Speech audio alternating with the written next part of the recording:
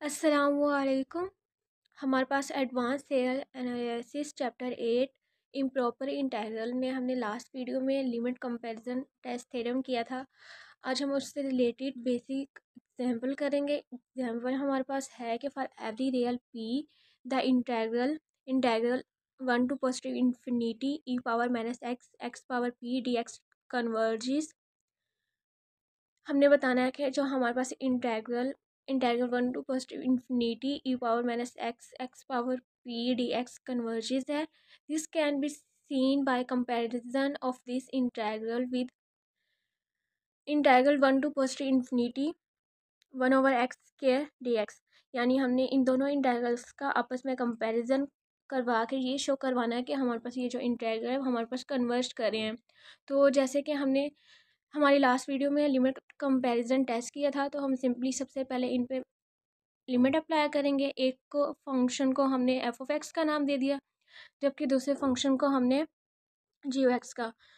तो हम लिखेंगे सिंस हमारे पास जो लिमिट है एक्स क्योंकि हमारे पास एक semi open semi close interval है वन टू पॉजिटिव इन्फिनिटी तो हम मीन्स कि हमारे पास जो एक्स है वो अप्रोच करेगा इन्फिनिटी को तो हम लिखेंगे limit X approach to infinity F of X over G X equal है। हमने फ़र्स्ट इंटेग्रल जो हमारे पास था एफ़ ऑफ़ एक्स को हमने नाम दे दिया U power minus X X power P और जी ओ एक्स को हमने नाम दे दिया वन ओवर एक्स स्केयर का।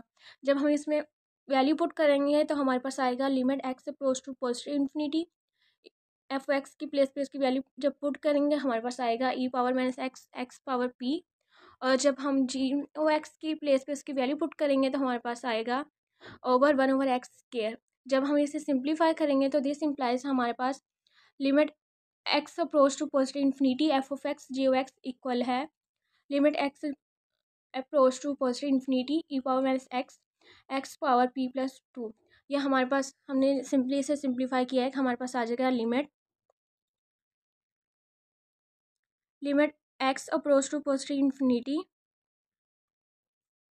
E power minus X X power P.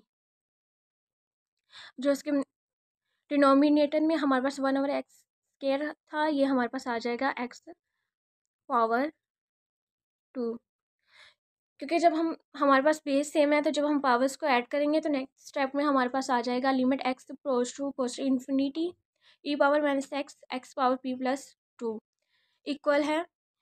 Limit X approach to X power P plus two over E X equal है zero.